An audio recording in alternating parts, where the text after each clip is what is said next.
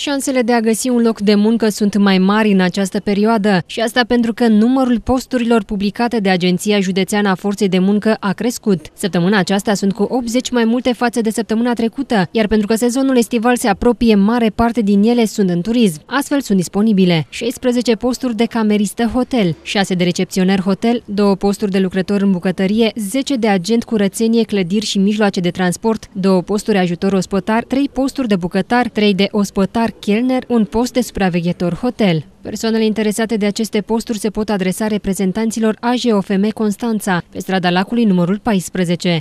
Constanțenii care își caută un loc de muncă pot găsi un job și la Bursa Generală a Locurilor de Muncă, organizată de Agenția Județeană pentru Ocuparea Forței de Muncă, joi, 14 aprilie, la Constanța. Evenimentul se va desfășura la campusul Universității Ovidius, începând cu ora 10.